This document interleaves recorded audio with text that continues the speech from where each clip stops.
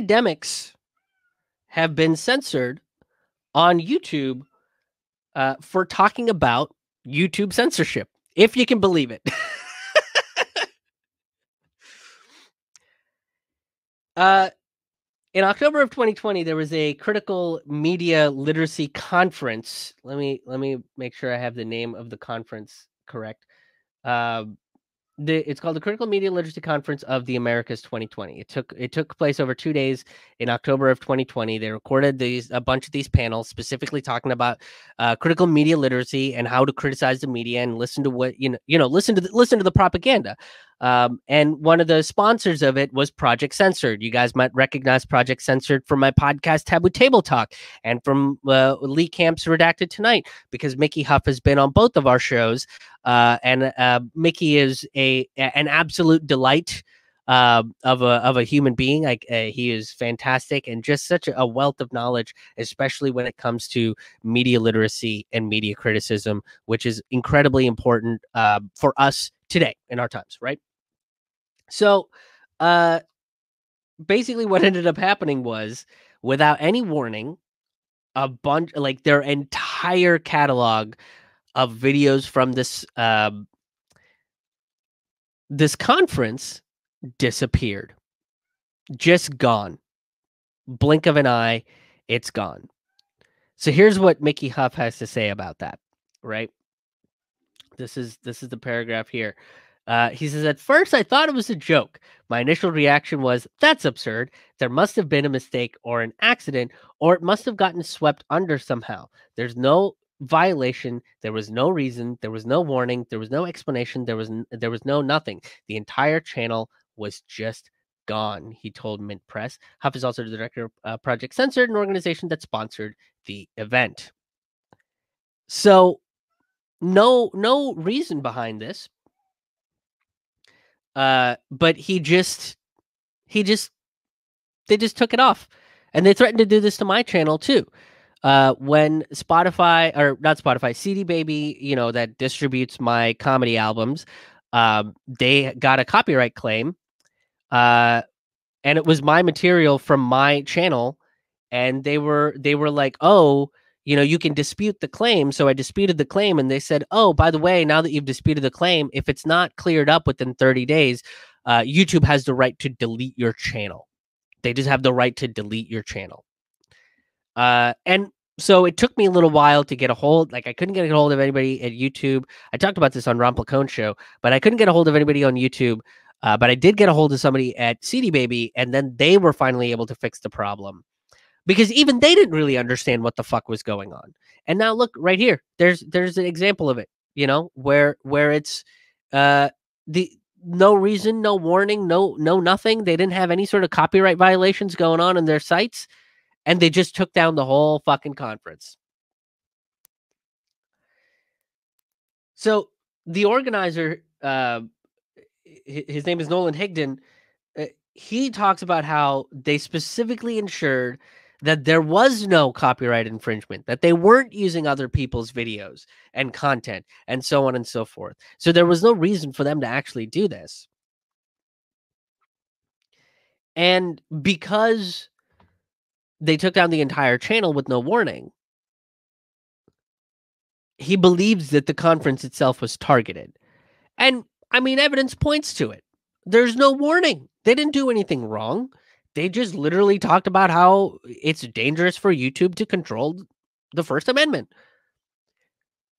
and the consequences of deplatforming people and the consequences of censorship where the left celebrates when when you know people like Alex Jones and, and Trump are taken off of these platforms. But what happens when they flip over and they go, well, so are people on the left. They're also anti establishment and they're also dangerous because let's say it's talking about the Black Panthers. They go, oh, but the Black Panthers are violent. Oh, he's spreading violence. And they deplatform you. That's very dangerous. And for talking about that, they got de- they, they, they their whole thing got erased.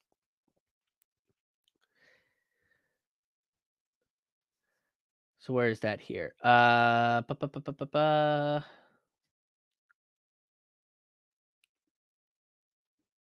So YouTube, like I mentioned, has nobody. Um, and so they they talked to uh, Mint Press got to talk to some representatives, and here's what they say: Mint, Mint Press spoke to representatives from Google, YouTube's parent company, who strenuously denied that they would ever remove content from their platform purely because it was critical of the company, noting that there is a wealth of videos on the website that challenge or attack them. After looking into the matter, Google said they could uh, find only one video and reinstated it, although the video does not appear on the conference's channel. Uh, as for the hours of other footage, that remains an enigma to them with no record of its existence. Thus, it appears that there will be no closure or definitive answer to this mystery. So they basically said, well, we don't know what the fuck happened. Oh, the algorithms. Those algorithms are nuts. You guys ever you guys ever hang out with an algorithm? Oh man, some of them are way too racist. But that's what we put in charge. No big deal. Don't worry about it. Uh, we put up one of the videos and it's not even in the right place, but it's all cool because we would never do something like this. We are open to criticism that we actively fucking ignore. Now, the reality is that tech companies should not have this kind of power, right? Uh, tech companies should not be in charge of um, of of dealing with the First Amendment. And and here's what here's here's the paragraph from Mickey Huff talking about that. On one hand, I understand they have the right to deplatform. Uh, on a broader level, though, I don't think they should have achieved this kind of power over our communication systems in the first place. And these should be publicly run platforms regulated in the same way our re- government regulates and enforces the First Amendment. So unless you're calling um, for direct violence, then I, there's no reason for you to take that down. So if the academic conference wasn't calling for direct violence on a specific thing, then there is no reason for them to take that down, and they took it down illegally. And and and they don't have to, you know, pay any consequences for it because oh, they're a private company and they have the right to take down whatever they want. This was something I pointed out uh, when Graham Elwood's video was mysteriously taken down at the uh, beginning of the pandemic. I pointed out that YouTube put out a little claim, a little disclaimer at the top of their thing that said, um, "We have the right to revoke and remove any video or any channel um, because right now there's no people it's all algorithm based and that algorithm will determine what gets to stay on our platform and what doesn't uh, and uh, we're not going to be reviewing any cases because you know staff uh, and it's like you're one of the biggest fucking country, uh, tech platforms in the world and you're telling me that you don't know how to set up a remote workstation hire a couple uh, hundred people pay them like 15 to 20 bucks an hour work from home to essentially take care of a bunch of these disputes. Really? You make billions of fucking dollars and you can't figure that shit out? Aren't fucking tech companies and conservatives going on and on about how they're job creators and how this is the future? And you can't fucking hire people to look through specific claims where people, um, especially at a time when we have record unemployment, you don't think people would take that job to look at YouTube channels and go, okay, yes, this violates community standards here. This person is specifically calling violence. This person is specifically doing XYZ. He is harassing this this content creator and this video should should be taken down or at least demonetized or so on and so forth. You don't think that there there you could do something like that. Of course, they leave it to the algorithms because then the liability isn't on them; it's on their proprietary software. And they go, "Oh, it's programmed to look for XYZ. And you said X, Y, Z. That's why we had to cut your stream. That's why we had to take down your video.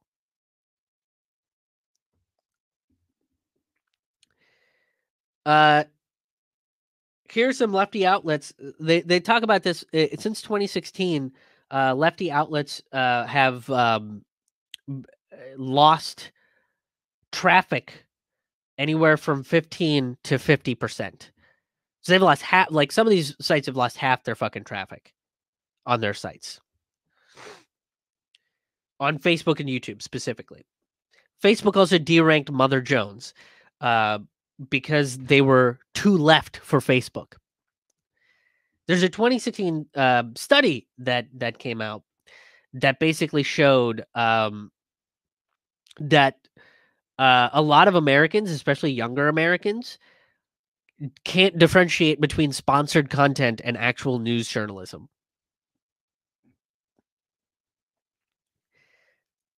And that's done on purpose, right? Because these sites they put up the sponsored content to look like news sites and they put out and they prop up certain perspectives, certain points of view. Uh, and and this is why critical liter- uh, critical media literacy is important. You should learn how to be able to differentiate between what is a news source and what is sponsored content. What is propaganda and what's actually journalism. How corporations are involved with entities like NPR and CNN and MSNBC and Fox News and all of these other sites, The Guardian, and so on and so forth. But it's done on purpose because these corporations, uh, these these tech corporations, are connected with some major political organizations, major intelligence agencies, right? Uh, Eric Schmidt, one of the Google executives, said that, that tech is going to become like the new war profiteers, right? They're going to be able to make more money than anybody else. Like he wants Google to be the next Lockheed Martin. Nobody should want to be the next Lockheed Martin. That should like nobody nobody should grow up and be like, you know what I want to do? Develop weapons that murder people on a scale beyond anything we've ever imagined. That's what I want to do. Nobody should be comparing themselves to that shit. That's sociopathic. That's psychopathic fucking behavior. Not only that, but Facebook and Reddit are both run uh, by pro NATO Atlantic Council uh, that help them curate content. So they help figure out what content needs to be boosted and what doesn't. Why? It's a people run site. And if you if you are are are using an ad model, right, where people purchase uh, the capability to run ads to target specific people, then why do you need money from the Atlantic Council to curate content on your on your platform? Unless you have an agenda behind it. And your and your platform is specifically propping up uh, a, an agenda. Amazon, Microsoft, Oracle all have CIA contracts. We knew that with Jeff Bezos. Jeff Bezos will take CIA contracts. We knew that the Ring, uh, the the Ring doorbell uh, sends information to law enforcement agencies. They, they can tap into the ring doorbells and, and watch your neighborhood. That was revealed in the Blue Leaks over the summer. The Atlantic Council that Facebook and Reddit uses, they have connections to former CIA operatives and former military they have uh, multiple CIA chiefs and multiple U.S. Army generals, uh, and those are the people that are making decisions for big tech.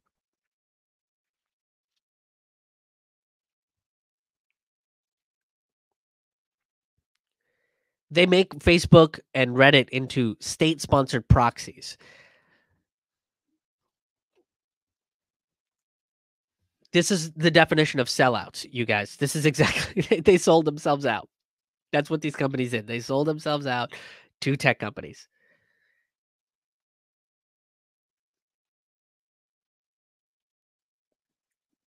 They basically silence uh, anti-American uh, any any network that's critical of America. I don't like using the term anti-American. Uh, I I I, I kind of feel like that's an inaccurate descriptor. Um, because I look at this as like I'm for the people and I'm for the American people. I'm also for the people of the world. So I don't think I'm anti-American in that sense. I am critical of the country of America. I am critical of the government structure in America, and so are networks like RT and Telesur, who talk about things like, oh, how Venezuela should be in charge of their own elections, and America can't just be like, we think this guy should be president, and this is this is why.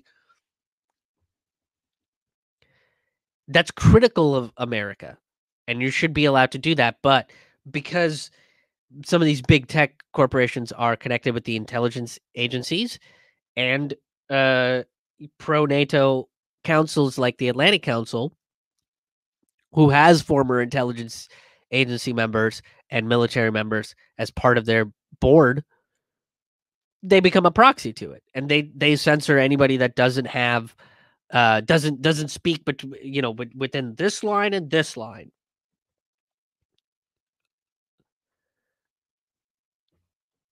So here's the the final statement from from mickey huff in the in the article.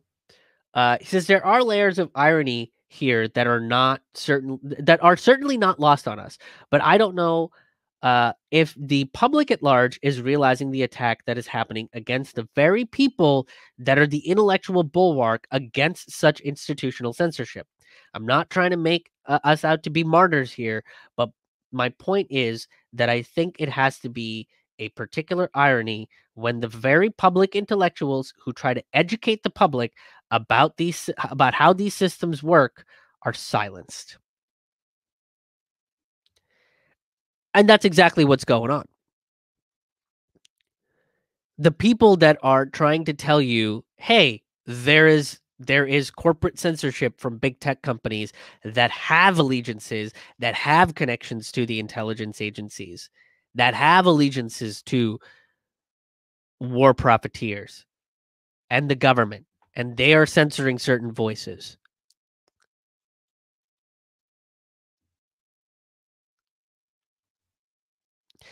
That's a problem. And the general public needs to be aware of this. And the general public needs to call out and say, fuck that shit. Because fuck that shit. Let's look at some of your comments. Todd, uh, thank you for hanging out, Todd. If you haven't done so already, check out Dr. Martin Davidson leveraging difference. I will have to check that out. I don't think I've checked that out yet. Thank you for this. Thank you for the the, the suggestion. Uh, the algorithm is created by humans. The algorithm is coded with all the biases of uh, of the humans that wrote and managed the code. Absolutely, hundred percent. So for them to use the algorithms as an excuse in all this is is a bunch of bullshit, uh, and it's just them trying to cover their tracks, right? Uh, that's that's really all they're doing. Like you guys wrote the algorithm, you guys know exactly what biases uh, you're looking for, and uh, you're that then they're fucking responsible for it, and but they don't want to take responsibility for it because now if let's say let's say that this uh, conference decides to take legal action against YouTube, they could potentially lose millions of dollars for losing over 24 hours of video content that was being used by colleges as a educational um, uh, touchstone. And now they're not able to do that and it's potentially also a loss of income for them. Because let's say that these these professors were like man this is really great. And even some students were like this is really great. I'm going to donate some money to this so that next year they can do this again and and educate you know the next you know keep up with all this stuff. Now that you know you've you've prevented them from doing that.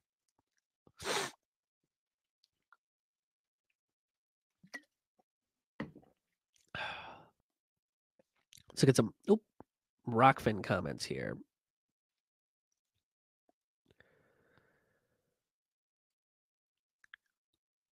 Uh oh, sorry. I had to scroll back up. Uh, Google and YouTube are CIA. Yes, they do have connections to the um to to the CIA as well. I mean, that's that's why. Uh, how could you not trust them? Any anything that goes against CIA talking points, CIA narratives. That's why Assange videos get censored so much. Um, all public utility has been privatized. The problem is they don't want real working people to look into censorship. Yeah, and they want you to champion, you know, when oh, this belief system that you don't like got censored. Yay! Who cares? Uh, th- this is why you need to learn critical thinking. So you can look at something that you disagree with and go, "Yeah, I still disagree with it. All the points you made up, I can debunk because I have the intellectual capacity to to do that." That's what you should that's what they should be encouraging, but they're not. Uh, 40 minutes I've been watching and just realized Krish's live. uh, yes. Uh, thank you, Fred. Thank you for tuning in. Uh, Devo asks, is Krish short for Krishna, uh, God of love and compassion? It's actually short for Ramakrishnan, uh, which is two different incarnations of Vishnu. Uh, and those are two gods uh, I will very likely not live up to because they both have killed demons. Uh, and I, uh, I don't know if I'm going to be able to do that. Uh, Krish, what conference? William Williams asking what conference got banned from YouTube. It is. I will pull up the name of it. It is the Critical Media Literacy Conference of the Americas 2020. Uh, that's what it's called. Let me copy and paste that into the comments so that you guys can check that out. Boom, posted. Or should be posted soon. There it is. Uh yeah, so that's the conference that got censored and, you know, again, more people need to to learn about this stuff. Thank you so much for checking out this video. If you enjoyed this content, uh, please make sure that you hit the like button, hit the share button, and make sure you're subscribed to my channel, whether it's on Rokfin, YouTube, or Facebook, especially Facebook and YouTube. They often uncensor people, uh, un unsubscribe people, and they censor this content. So if you want to keep up to date, make sure you're subscribed. Hit that bell button so you get notifications of when I'm putting up new videos and when I am going live. I usually go live uh, on uh, Fridays and on Mondays. Uh, and if you want more information about a, a, bunch of the other stuff that I do, um, whether it's my Forkful of Noodles podcast, the Taboo Table Talk interview podcast, or the Road Reflections live streams, uh, make sure you go to my website, krishmohanhaha.com. It's K R I S H M O H A N H A H A dot com. There you'll find past episodes of uh, of various shows that I that I do, as well as information about when I'll be performing live virtual comedy shows, the Forkful of Noodles live virtual comedy shows. Uh, the dates and tickets will be available directly on my website. But if you're also on financial stable ground, you can help contribute to the show financially by making a one time donation or becoming a sustaining member, which gets you free tickets and bonus content. You can go to krishmohanhaha.com slash donate to to make any kind of financial contributions. But if you can't, it's not a necessity. Most of my stuff is available for free and for everybody to enjoy. So again, go to krishmohanhaha.com. It's K R I S H M O H A N H A H A, and I hope to see you at the next video. Thanks again.